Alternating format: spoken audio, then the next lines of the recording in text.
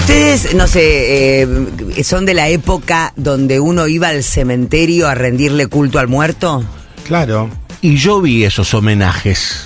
Vi con el ramito, que llegás con el ramito caminando por los pasillitos. Ay, cómo me gustaban los taquitos. Yo me ponía cuando Sí. me, me tenía que acompañar a mi abuela unos zapatitos con taco que me había regalado Elena la polaca y tiqui tiqui tiqui tiqui tiqui tiqui amaba el taquito en el en, en- porque retumbaba. En ese silencio. ¿A cuál ibas? Al de ¿qué hizo? Al de Flores, ¿dónde querés que vaya? Al cementerio de la Chacarita, para nosotros la Chacarita era de de de de, de, fin- de Finolis. De Finoli. Ah, no, el de Flores, bien bajo Flores. Claro, y en Morón hay uno que tiene la parte de nichos que para un nenito era un misterio. Misterio, misterio. Y después cuando vas sí. siempre a los mismos, vas mirando las tumbas del cerca. Sí. Vas mirando las tumbas cuando encontrás un, placas, que la te das cuenta cuando hay niños, porque está le- lleno de, de juguetes, de cosas. Es horroroso. Hay como un sector, ¿no? No, no, no es un sector, te toca, te toca, la suerte es loca. Ah, Pero de, de pronto hay un lugar, vos veías siempre una que veíamos lo, que- lo que le ponía la familia. todo. Espantoso. No. Pero hay, hay como una cultura todavía en algunos lugares, todavía en algunos lugares se sigue, sigue siendo una tradición. La gente le pone la placa, le pone, yo no sé cómo no se lo afanan las placas esas de bronce. Ahora se que lo se deben haber afanado todo. Deben hacer de cerámica, supongo. Sí, no sé, pero te lo van a robar igual porque son carísimas. Y se te, papá, te llevo en el corazón. Eh, Sí, tu familia. Tu familia. Bueno, eso sería la parte más lógica cuando uno va a recordar a su muerto eh, a cualquier a cualquier lugar que- donde esté donde esté guardado Sí. o que uno sienta que está ahí. Sus restos. Bueno, en este caso, este, este marido es un poco raro lo que hace cuando va a visitar a su mujer. Un hombre que hace 48 años que la mujer murió, Mucho. va religiosamente todas las mañanas al, al cementerio, se acerca a la tumba de su mujer y hace sus necesidades. Arriba de la tumba de la mujer. por Ay, le gustaba Hace sus necesidades arriba de la tumba de su mujer. La bronca. El inso- la bronca que La le tenés bronca. que tener. La bronca. La bronca que le tenés que tener a alguien. Y aparte cuando le tenés tanta bronca que no podés soltar, porque cuando uno le tiene bronca a alguien, No lo querés más. lejos al otro. No querés todos los días ir a mearle o cagarle la tumba. Tan mala mina fuiste. Va. El insólito hecho fue capturado por cámaras que puso la familia de la fallecida en un cementerio de la iglesia reformada Tapan en Orange Town, en Nueva York. El testigo y comunicador de lo que el sujeto hizo fue Michael Andrew Murphy, el propio hijo de la difunta. De la difunta. Estuvieron casados muy poco tiempo y se separaron hace 48 años. Pero Expresó olvidó. Michael en sus redes sociales. Esto me rompió el corazón. Un hombre del condado de Bergen, de New Jersey, dejó bolsas de excremento y orina durante años en la lápida de su madre, de la madre de él. De él. Describió consternado y siguió. Tenemos semanas y meses de evidencia atrás de los videos. Torello murió en 2017, por lo que su exmarido pudo haber estado orinando y defecando sobre la tumba durante mínimo cinco años, chicos. El hombre acusado se llama Dean Eichler, tiene 68 años, estuvo casado con Torello, que es la mujer, antes de divorciarse en el año 1974, fue citado por la policía de Orangetown y los voceros dijeron que seguirán investigando el caso.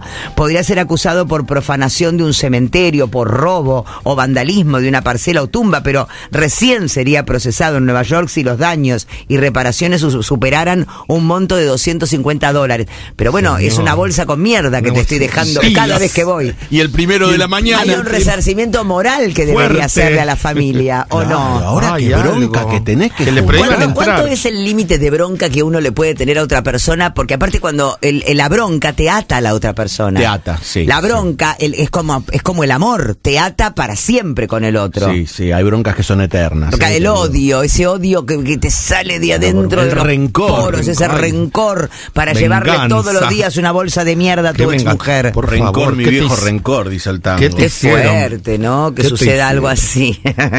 Sí, ahora te tenés que tomar el laburo también, porque es todas las mañanas. Son como esos juramentos. Ir al cementerio todas las mañanas, por favor. No, por favor. Señor, una vez por largue, mes. Largue, buen hombre. Y uno que ve el negocio, en vez de, de las flores, tiene la bolsa de caquita al lado. Ay, chicos, qué asco, No. me da mucho asco. Bueno, eh, pasando de tema. Eh, ¿Quién es Hannah Carroll? No sé la quién nueva es. bababanga.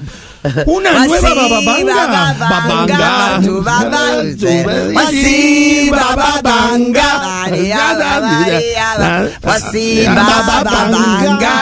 Vaticinó la muerte de la reina Isabel II y acertó 11 predicciones la nueva bababanga. Ah. Harold Carroll es furor en las redes sociales y la consideran ya la nueva bababanga. Por su poder, en enero de este año, la joven escribió 28 predicciones para el 2022 y como era de esperarse, varias de ellas ya se cumplieron. Bueno, pero si tienes una mujer de 95 años, ¿cómo no vas a predecir que se va a morir? Y sí, eh, lo más probable es que aciertes. Entre uno de sus vaticinios, la joven anunció la muerte de la reina Isabel II junto a otras intuici- intuiciones que tuvo sobre las celebridades más importantes del mundo. Siempre he sentido que sabía que algo iba a pasar. Es como una visión o como un presentimiento realmente fuerte, contó la joven Bababanga. Agregó sobre sus favoritos en cuanto a las predicciones. Siempre me han gustado la cultura pop y las celebrities, así que muchas de mis predicciones han sido sobre eso.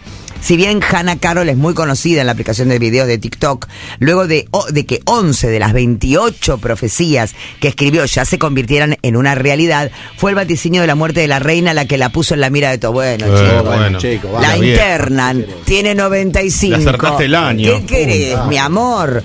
La joven precisó la fecha de la muerte de la monarca. Bien, En una fecha en que la jefa del Estado del Reino Unido se encontraba bien todavía de salud. Carol. Motivo por el que nadie esperaba la triste noticia de su fallecimiento. La monarca falleció a los 96 años tras siete décadas de reinado. Entre sus otras intuiciones, la fanática del mundo de las figuras del espectáculo y personas millonarias predijo la separación de Kim Kardashian y Pete Davidson. Bien, Baba. Las Así Kardashian. como también supo de manera de, de ver de manera anticipada el embarazo de Rihanna. Y el lanzamiento de los nuevos discos de Harry Styles y Beyoncé. Ay, chicos, si sos cantante. Que-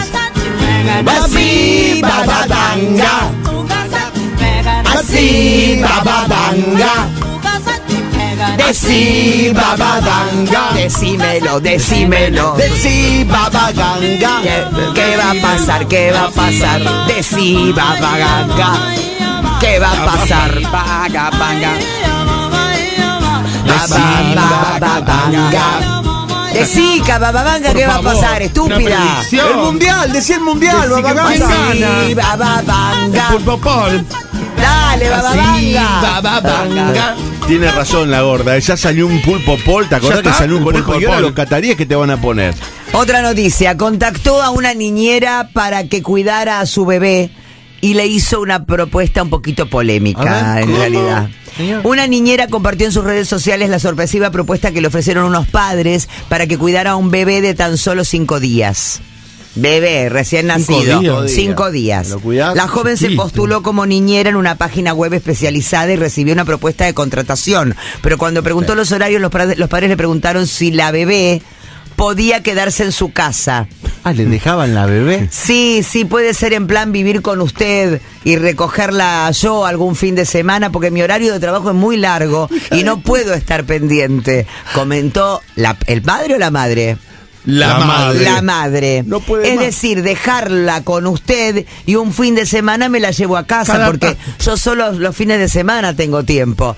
Da- Dale en adopción. Claro. Dale en adopción. Ante la indignación que le generó a la niñera, continuó la conversación, pero le preguntó si no era más conveniente que el bebé durmiera con su familia durante la noche. No, no, no, No, sabes que lo Quiero dormir. pensamos, pero necesitamos descansar bien Sí, nosotros. intimidad. Yo me estreso. No, no, yo me estreso un bebé llorando, no, es agradable.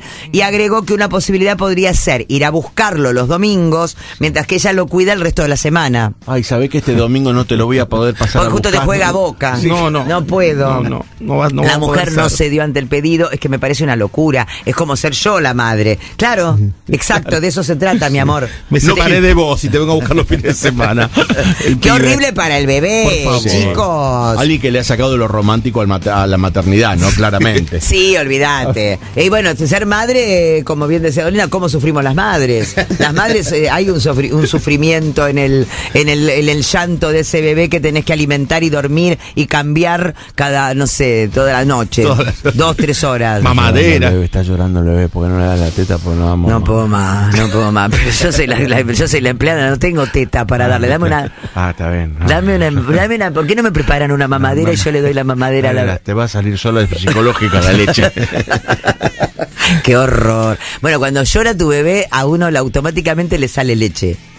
Es como claro, porque es como algo, es prácticamente una la campana de Pavlov de las tetas, el llanto del bebé. No sabía. Sí, No sabía que eso. tiene la sopa del bebé, Bebé. las rígidas reglas que debe seguir la princesa Kate Middleton Ay, ahora, por protocolo de la monarquía. Se cambió la ropa, por lo menos. Severos deben ser. severos, Uf. pero lindos, porque es- esto es muy Mi ideal amor. para la mujer que le gusta empoderarse, pero con el trabajo del otro. Claro. Viste, estoy re empoderada, ¿no? Y yo no, Sí, querida. no, no. A mí que me traigan, que me lleven, que el otro se ocupe del nene, que lo cambie, que, me, que lo lleve al colegio, que haga todo lo que yo no tengo ganas. Pero el- me empodero con la plata del otro. Hay un vida. protocolo de empoderamiento. Kate Middleton, conocida como la duquesa de Cambridge, se convirtió en una celebridad desde su ingreso en la familia real. Pero hay ciertas reglas que como miembro de la monarquía inglesa debe seguir a rajatabla por protocolo de la realeza. Una de las cosas que no puede realizar con sus fans es la firma de autógrafos. Y no porque después me va a hacer un cheque. Claro, Dice que firme no. algo, me pueden hacer algo apócrifo. Según las reglas de la corona, solamente puede firmar si se trata de documentos oficiales y que previamente hayan pasado por la autorización del rey, de con sus dedos de, De los de de los choriquines, Los choriquines. con los choriquines, escrito con los auténticos choriquines. El motivo de ello es que estos documentos podrían falsificarse en nombre de algún miembro de la realeza. ¿Qué es lo que se puede hacer? Darse la mano, sacarse fotos con los fans y, Y se punto. terminó acá recibir alguna flor que se la das al que estás atrás. No se usa más firmar autógrafo tampoco. A la princesa tampoco tiene permitido trabajar. Ah, ¿no? Antes de que se casara, por eso te digo. ¿Un me- emprendimiento? Me empodero con el, con el poder del otro. No tengo permitido trabajar, chicos, me empoderé de otra forma. ¿Cómo yo. te vas a empoderar? Yo te juro que trabajaría, de mil amores trabajaría, pero, ¿pero qué? mi empoderamiento llega a que trabajen los demás. Pero no Pero, es así. por favor. Sí, bueno, me empoderé así, mira, yo puedo. Es la que me toca. La que me toca, mi amor, soy princesa de Gales. Antes de que se casara, ella trabajó durante un tiempo en la empresa de su país en la cual entregaba mercadería y organizaba eventos. Correo. Cuando no querés trabajar. Buscate algo Buscate tranquilo. algo tranquilo, los fines de semana, gorda. para quedar bien, yo buscate. puedo. ¡Hija de puta! Para quedar bien. De hecho, Kate tenía el sueño de desarrollar una carrera diplomática. Bueno, lo hubieses hecho, mi amor. hermano. algo. Nada te gusta. Pero cuando se casó con Guillermo, pasó a tener catada. prohibido trabajar, chicos. Mi amor, pero tiene la. Solamente puede visitar o fundar organizaciones benéficas. ¿Cómo le gustaría Oh, esto a muchas? muchas. ¿Cómo le gustaría Montarse para ir a esto? cortar una cintita. Ahí está, mira, un barco zarpa. Tú ¡Pum! tira la botella. A ver, ¿qué otra cosa? Una tengo? fundación. Voy a ir a ver eh, niños, niños con problemas, niños enfermos. Sí. Vamos, a ayudar niños Ay. enfermos. A ver, tenemos eh, la parte de, de- de enfermos terminales, voy a ir a ver. Ay, qué divino, le voy a sacar fotos de lejos, ay, qué amoroso. Vamos un a ver. cóctel para los pobres. Cóctel para. po- Voy a ir a una mina, voy a ver a los. A, los- A los que quedaron atrapados. Sí, voy a ir a hacer. Juguetes para los niños, por favor. Solamente eso voy a hacer. Trabajar, que trabajen los demás por mí. El color de las uñas también es crucial. ¿En es el color de las uñas? Según el código real, la duquesa de Cambridge puede apenas usar una paleta de colores. ¿Cuál? Esto es peor que vivir en. en- ¿Cómo se llama este? En Corea del Norte. Sí. Esto no se puede nada. La manicura de Kate acostumbra a tener dos tonos. Un rosa suave 28 Rose Lunch Aburrido. y un pálido 423 Alur. Nunca un nunca un naranja. fucsia. Tengo el 423 Alur. ¿Hoy qué te pongo? Otra vez. Otra Poneme vez. el Alur. Y mañana tenés un cóctel en la, bueno, de la embajada, poneme el rosa lonche. El rosa lonche. ¿Y pasado qué tenés? Alur de nuevo. Alur. Porque te ahora poneme Alur. Pues- No, poneme el rosa lunch Sí, de nuevo. no. Hace dos semanas que no, Dos colores, nada más. Dame un negro. Siempre el tono de las uñas debe ser el natural en los eventos oficiales. Ah. El, efect- el afecto en público es una falta de respeto. ¡Asquerosa! De hecho, la reina las consideraba inaceptables. Es improbable que algún fotógrafo llegue a conseguir un momento de intimidad entre Kate y Guillermo. Las reglas exigen nada de cariño. Solo puertas adentro, nada de cariño. Nada de cariño. Eh, Por eso les molestaba tanto Lady La Di. otra que estaban como locas. El sueño No. del marido asqueroso, ¿no? Claro, Sí, este es el sueño de, de- de un hijo de puta que te dice no me, no- que no me toque, que Ah, no me haga. que ¿Querés no ser me- reina? Beso seco. Los miembros de la realeza son instruidos para no vestirse de negro durante el día. Ah. Para la familia real, dicho color debe ser únicamente utilizado por periodos de luto Bien. y en extrañas ocasiones para eventos nocturnos. Razón, de negro reina. no, te me vista. La reina amor. de la bandera gay, ¿Querés ser reina? ¿Querés ser princesa? Aprende mi vida.